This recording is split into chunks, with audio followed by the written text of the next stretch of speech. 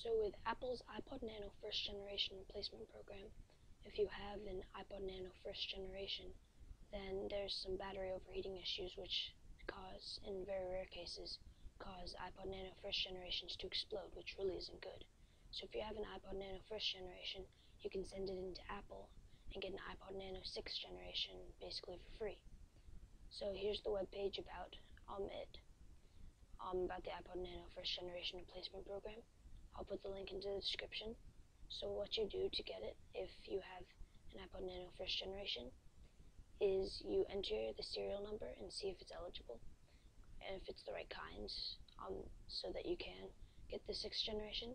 Then if it is, you give Apple your shipping information. They'll send you a box um, in which you put your um, iPod Nano first generation, send it into Apple, so that they can send you the iPod Nano sixth generation back. Um, I did this, and I'm hoping to get the box back soon. When I do get it, I'll put an unboxing, hopefully onto this video too.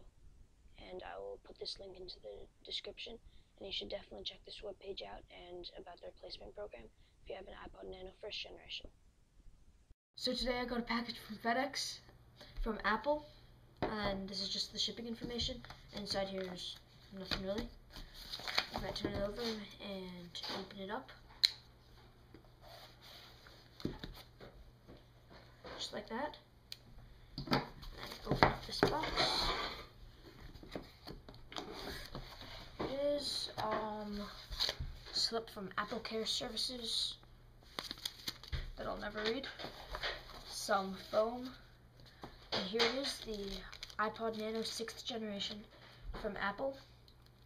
So, from the Apple replacement program for the first generation Nanos because of overheating batteries, um, I got a free 6th generation Nano out of it. So, all good.